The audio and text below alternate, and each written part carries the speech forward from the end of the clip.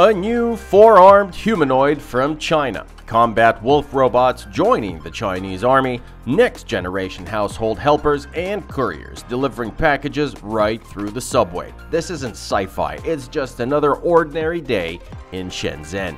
All this and more breakthrough robots from China right now. Let's go. Tired of delivery people bumping into you? What if they looked like this? Yes, in China, courier robots from Shenzhen Metro Group and VX Logistics have already mastered the subway. They're designed to look like friendly cartoon sidekicks, not clunks of metal taking up space during rush hour. These bots board trains on their own, hop off at the right stop, and deliver straight to 7 Eleven stores, all inside the subway system. No escalator wrestling, no sidewalk chaos. Each bot is equipped with a multi-sensor navigation system and an AI route planning device. It can recognize pedestrians, doors, and escalators, avoid collisions, and most importantly, adjust to the rhythm of passenger flow. Shenzhen has already deployed 41 of these bots serving over 100 Metro 7-Elevens. Every day, 9 million passengers pass through and among them, these little nifty things glide like it's their skating rink. All managed by one brain, an AI that allocates orders based on train capacity, station crowding, and delivery urgency. A full-on logistics nervous system built into public transit. Do you think they asked the Physarum polycephalum fungus for advice just like they did in Tokyo Metro? Let us know in the comments. And China's not waiting for adults to adapt. They're raising kids and bots alongside. In thousands of kindergartens, children learn with Kiko, a pint-sized robot that looks like a smiling marshmallow on tracks that let it roll freely around the classroom. And guess what China's not doing? It's not waiting for adults to adapt. They're raising kids and bots alongside. In thousands of kindergartens, children learn with Kiko, a pint-sized robot that looks like a smiling marshmallow on tracks that let it roll freely around the classroom. At just 16 inches or 40 centimeters tall, it's non-threatening, playful, and smart. It tracks kids with its camera, reacts to movements, and even tailors lessons to the group's skill level. All this works through its internal AI module and direct link to educational platforms. Teachers use Kiko as a co-pilot. It poses riddles, runs classroom quests, reads bedtime stories, plays songs, cracks jokes, and turns learning into a game. The intended result? Well, a generation that doesn't fear robots. They expect them to be useful, safe, and sorta cute. But now for something less cute, folks. Meet Q-UGV Wolf. Unveiled at the 2024 Zhuhai Air Show, this isn't your average robot dog, but the next step in combat machine evolution. Built by China South Industries Group, it's a 54 pound or 70 kilo quadruped that feels just dandy running on different terrains, climbing angled ladders and obeying voice commands like sit, stand, and move. This unmanned ground vehicle during an exercise with four of its brethren did just that. And here's the kicker. Some models carry automatic rifles on their backs. Yikes! In wolf packs of four, everyone has a role. A scout, a stormtrooper, a carrier, and a sapper, all working as a unit. Can't have the ointment without the fly though, because the range on this bad boy is only about 1.2 miles or 2 kilometers on a 3 hour battery, and that's on a good day. Still, it's already been spotted in People's Liberation Army drills July this year alongside drones and infantry. So how do you feel about robot wolves with guns, people? Let us know in the comments. If you follow pro robots, you know China and robots are like ducks to water. Tencent, China's tech titan, is betting big on elder care with Xiao Wu a hybrid bot that rolls on wheels but walks on legs when it hits stairs thanks to its hybrid chassis. This solution combines the best of both worlds. Surprisingly, it's not a lab toy, rather actually built for real homes and nursing facilities. It carries groceries, helps seniors with mobility issues all the while it's walking around living quarters for the elderly. It has a high-res tactile system. The robot feels how a person's weight is distributed and adjusts its support to help them stand up or reach the bathroom without risk of falling. Powered by LiDAR, IMUs, and low latency SLAM, it maps rooms and dodges static and moving obstacles like a pro in real time. But the real magic? Multimodal interaction. In other words, it can forecast your needs. See a granny trying to get up from the armchair? Xiaowu's already moving into position, adjusting its approach. Xiaowu is not limited to care alone. It's connected to the Tencent ecosystem, meaning it can monitor health indicators like pulse, weight, etc., and transmit data to caregivers and family. Assistance settings can be changed through the app, for example, the strength of support or walking speed. And when it's not in use, well, it just folds up and tucks into a closet. This is the ultimate nanny bot. Quiet, smart, and always ready. Meanwhile, in Shenzhen, PM01 is training to be a police robot. Developers at Engine AI are promoting the idea of embodied intelligence, robots that not only exist but sense their environment. After raking in $140 million in investment, the company has already made several models, including its compact powerhouse PM01.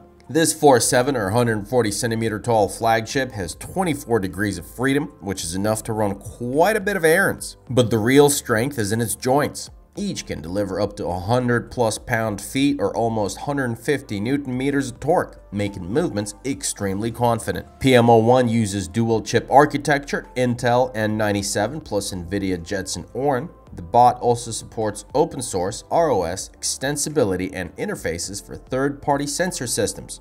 It walks almost like a human, can pull a 320 waist spin giving it an edge in tight spaces, and a bonanza of LiDARs and stereo HD cameras, meaning full 3D awareness. The robot can avoid obstacles, change trajectory, and stabilize itself if pushed. Runtime is about 2 hours, but there's always the quick swap battery option. PM01 is currently positioned as a research robot and developers are not yet planning mass production, unlike this next guy. The Terminator of household chores Haier's new humanoid robot is here. The Hiva Haiwa robot was first presented at AWE 2025 and its main idea is super simple. A domestic servant that cooks, cleans, and irons for you. Ladies, Keep this info away from your chauvinist partner. It stands at 5'5 or 165 centimeters tall, weighs 154 pounds or 70 kilos, and boasts 44 degrees of freedom. No legs for now, just a wheeled base, but arms that reach almost 6.5 feet or 2 meters from the floor up. At the moment, the prototype is remote controlled, but Haier's engineers plan to teach the robot all the good stuff. So much so that China is ready to make the data available to all developers from Haier's training centers. This isn't the company's standalone product though, it's a collaboration with Robot Era, a startup we've talked about in our previous videos. So yeah, it looks familiar. Hiva is deeply integrated into Haier's smart home ecosystem. It talks to your fridge, oven, wash machine, you name it. So watch out folks, your robot might soon know your laundry preferences better than your roommate. Engineers from China decided to play Vishnu and made a humanoid robot with four arms. Meet the new Ice Age bot. This cheeky rapscallion stands at 5'1 or 156 centimeters, weighs about a tad over 600 pounds or 280 kilos, and boasts an incredible 52 degrees of freedom far more than most of its competitors. According to the company, each arm can lift between 6 and 35 pounds or 3 and 16 kilos, while the accuracy of its reach is an impressive thousandth of an inch or 0.03 millimeters. Developers claim this unique architecture doubles workspace, increases load capacity 20 times, and boosts task performance up to 5 compared to traditional systems. At its core, the robot runs on Sage Brain Controller and Sage OS, a proprietary system designed for integration with large language and vision models. Navigation relies on multi-sensor fusion. There's six cameras that provide a full 3D view of the environment, helping the robot adjust its movements in real time. Control options? Well, there's quite a few. Voice commands, touchscreen, remote cloud access. Keep in mind, Ice Age Bot's power system is built for 220 volts with an operating temp range of 50 to 100 Fahrenheit or 10 to 40 Celsius. Moving on, there's EX Robots, masters of Uncanny Valley. Since China also loves robots that copy human appearance as accurately as possible, the company uses flexible skin and a complex system of facial muscles. It looks much more realistic than what we've seen before, from palm crease to goosebump. And if you want to get funky, the EX robot can make a robot clone of you. It only takes a 3D scan and a little bit of patience, oh, and about two to three hundred thousand dollars. Beyond appearance, the robots have high-res cameras that track the face and AI algorithms that synchronize speech and lip movements, making the robot look as convincing as possible. Building such an android takes from two to four weeks, and these are one-of-a-kind pieces, not for the living room, unless of course you do decide to get funky. Most often these would be used in museums and exhibition centers. In EX Robot's own museum in Dalian, you can see dozens of machines like that, standing or moving among visitors. How do you guys feel about these things? Let us know in the comments. But this one, pure joy. Instead of Silent Hill reenactments, Astribot S1 will play with your cat, cook dinner, clean the kitchen, and pour you a glass of Chardonnay. It looks like it leapt out of a cyberpunk anime, and it moves like a pro chef on espresso faster and more precise than a human, which was once considered fantasy. At 5'9 or 175 centimeters tall and 100 pounds or 45 kilos, it's got 49 degrees of freedom and arms that move at 32 feet or 10 meters per second. Throw in peak joint load of 80 pounds or 36 kilos, and no ordinary person can maintain such a tempo for even a few seconds. There's an advanced motion and balance control system in place here where each limb works as a separate module but is synced with AI. The robot instantly redistributes load and maintains balance even when pushed. Astribot combines imitation learning and AI. Basically, show it once and it knows how to do it. Say, mix ingredients, cut vegetables, pour tea, even play an instrument.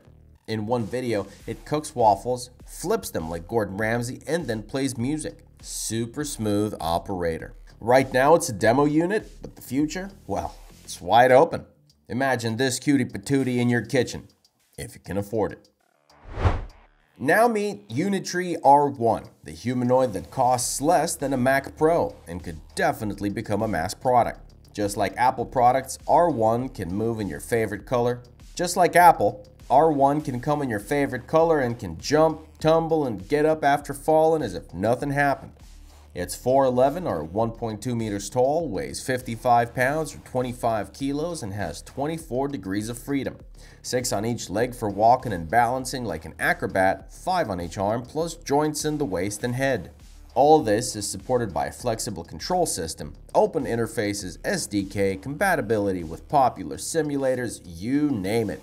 Researchers can upload algorithms directly into the hardware, and hobbyists can experiment with movements that until recently were available only to expensive models like Boston Dynamics Atlas. R1 is multimodal, it hears voice commands, analyzes images, understands context, and acts. But most importantly, it was created not for show, but to become a mass platform.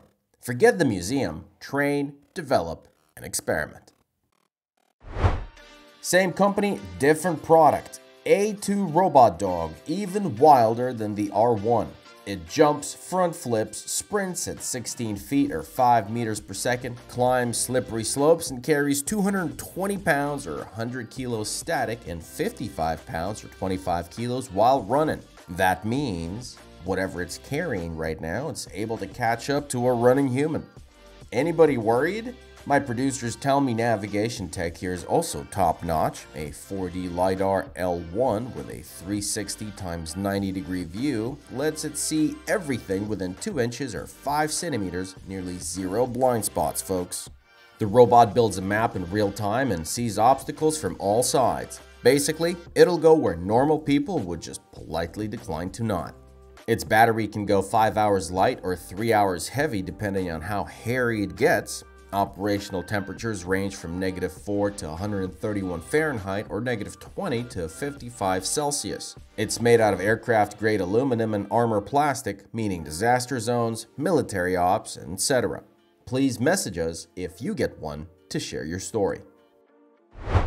Next up, Tron from LimX Dynamics. Once it was just an agile security robot, it could autonomously patrol any area, move quickly on wheels, step over obstacles, and climb stairs. Even if the robot fell, it would simply get up and keep going. That was already impressive. But then, the robot got an arm.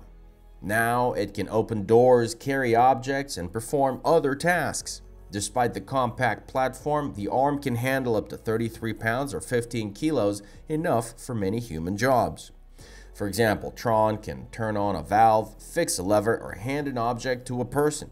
Its control system synchronizes leg and arm movements so that the robot stays stable even during sudden vertigo. It's waterproof, dustproof, heat and cold resistant, already commercially available, and its LiDAR system provides a complete 3D view of the environment. This makes it an excellent candidate for logistics, inspections, rescue missions, and of course, military. And yes, LimX is also building a humanoid, but honestly, Tron is the real MVP. Compact, tough, and ready to work. And finally, Xpeng. The company got its reputation as a car manufacturer and a very original one. For example, a six-wheeled SUV with a passenger drone on board, or a luxury sedan with helicopter-style rotors.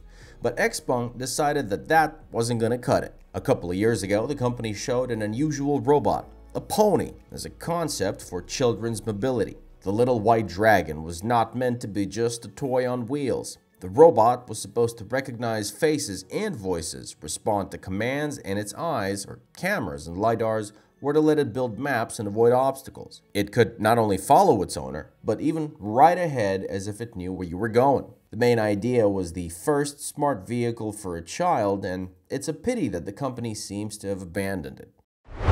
But the company's robotics department focused on developing a humanoid robot called Iron. It was first shown at Auto Shanghai 2025 at 5'10 or 175 centimeters tall and 154 pounds or 70 kilos, it's got 22 degrees of freedom per arm and more than 60 joints in total across the body.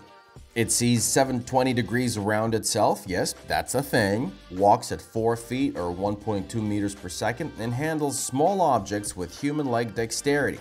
And at 3000 tops AI brain, it has the same oomph as a self-driving car. Iron is basically a driver with a sixth sense. This robot was created for industry and service. It's already being trained at a factory in Guangzhou, and in the future it will be used in retail and service jobs. In essence, this is autopilot technology transferred from cars into a human body.